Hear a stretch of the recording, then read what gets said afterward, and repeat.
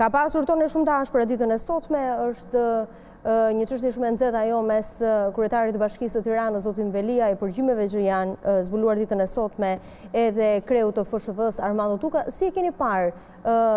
këto zhvillime për sa i përket hetimeve që po, janë iniciuar nga Ne kemi, fal, ne kemi një arrogancë të skajshme nga ana e pushtetarëve Edhe ajo që kemi dëgjuar është demonstrim i kësaj arrogance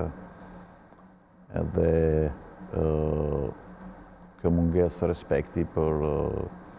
dinjitetin e të tjerëve. Unë kam bërë dhe një prononcim për personalitetin e Sulejman Memës, meqenëse kam vënë re që është përmendur apo është përgojuar, një figurë shumë e dashur, jo vetëm për komunitetin e Tiranës, por edhe për gjithë shqiptarët, sepse ka qenë vërtet, ka qenë në kohën tonë, ka qenë një Platini për për Shqipërinë, si model i lojtarit perfekt, po edhe sot një qytetar i mrekullueshëm, një njeri që i ka dhënë çdo gjë sportit edhe në këto 30 vite dhe Sjellja, sjellje të tilla ndaj sportistëve, sjellje të tilla ndaj artistëve apo ajo, që kemi parë me teatrin, me çështje të tilla. Këto tregojnë se kjo arrogancë ka kaluar çdo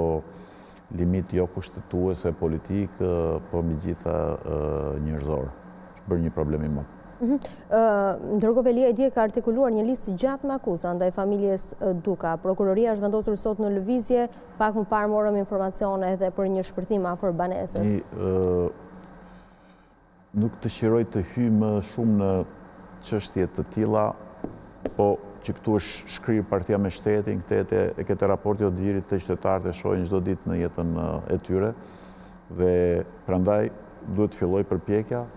për rivendosjen e integritetit të votës së lirë, dhe këtu